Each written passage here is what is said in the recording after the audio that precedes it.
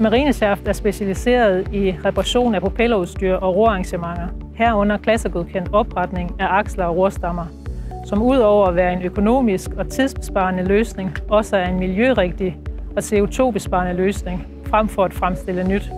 Men når der skal en ny aksel til, så sikrer vores store råvarelager af rundstål og foringer med klassecertifikat, at nye aksler kan fremstilles på få dage. Vi har en bred vifte af godkendte svejseprocedurer, som gør os i stand til at opsvejse på aksler, blade, koblinger og mange andre emner af forskellig kvalitet. Arbejdet udføres på et af vores tre værksteder i Hirtshals, men nogle opgaver er også muligt at løse on-site. Det kan blandt andet være bladreparationer, svejseopgaver, diverse udborings- og maskineringsopgaver. Marinesaft er bygget op på klassiske håndværkstraditioner, og vi er meget stolte af vores dygtige medarbejdere med stor faglig ekspertise. Vi står altid klar med råd og vejledning og kommer meget gerne med et uforbindende tilbud på de næste opgaver.